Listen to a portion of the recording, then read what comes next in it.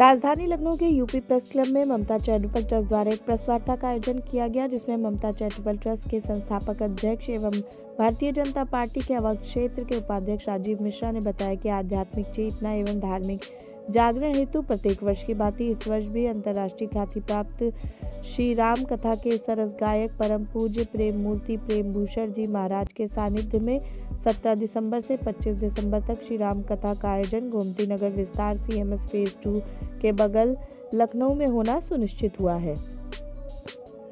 रामकथा का जो आयोजन है श्रोतागणों को किन किन व्यवस्थाओं से किया गया है क्या व्यवस्थाएँ हैं? देखिए ममता चैरिटी ट्रस्ट द्वारा पाँच साल से लगातार लखनऊ में सेवा कर रहे हैं और आपके माध्यम से ये लक्ष्मण की नगरी है। पिछली बार भी हमने राम कथा कराई थी और अमृत वर्षा हुई थी। मैंने देखा सोता लखनऊ का कितना बड़ा सोता है।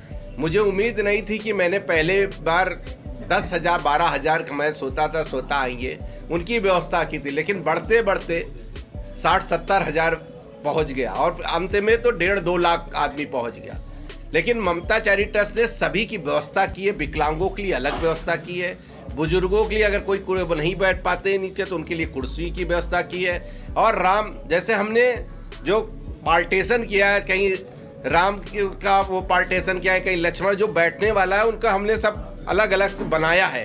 गैली बनाई है राम गैली बनाई है लक्ष्मण गैली बनाई है हनुमान गैली बनाई है ऐसे गैलरी भी बनाई है पूरे लखनऊ में मैंने प्रचार के माध्यम से प्रचार भी कर रहे हैं, होल्डिंग लगा रहे हैं, सारी एलईडो एलईडी पे भी चल रही है।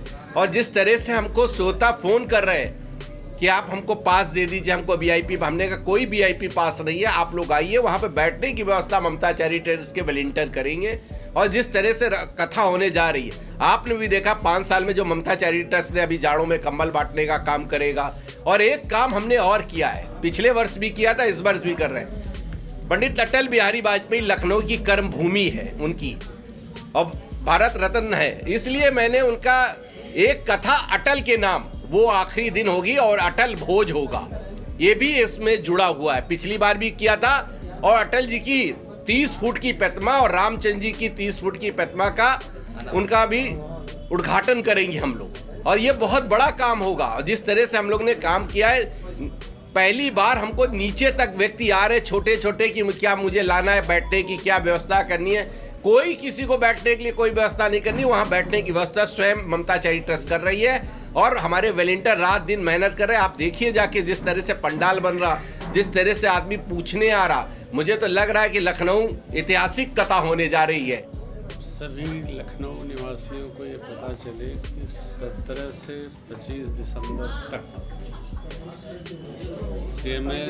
मैदान, गोमती, नगर विस्तार में ममता चैरिटेबल ट्रस्ट की से आयोजकत्व में प्रेम भूषण श्री राम कथा गाने आ रहे हैं, इसलिए सभी लोग उसको श्रवण करने हेतु पधारे।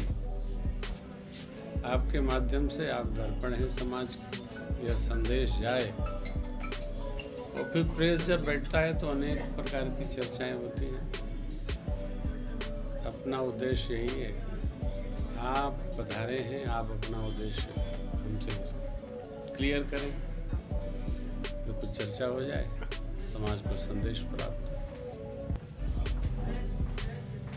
चैनल देशबद्ध न्यूज़ को बेल आइकन दबाकर सब्सक्राइब, लाइक और शेयर ज़रूर करें।